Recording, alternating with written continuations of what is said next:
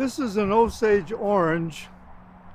Its ancestor is at the, what is called the River Farm, and the River Farm is what is now known as um, uh, Mount Vernon, and it's part of 1,800 acres that uh, George Washington bought many, many years ago. The reason I wanted to point this out is it has some really interesting characteristics. One of them is it has very short and very stiff thorns. So if you happen to grab one or it grabs you, you are going to be in big, big trouble.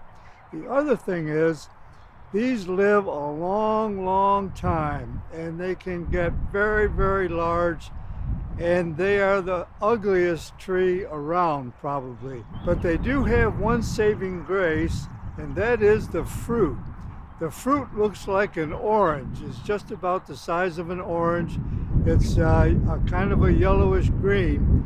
But if you have those and put them near the doorways to your basement or put them around a house or a shed, it does tend to keep crickets out of your habitation.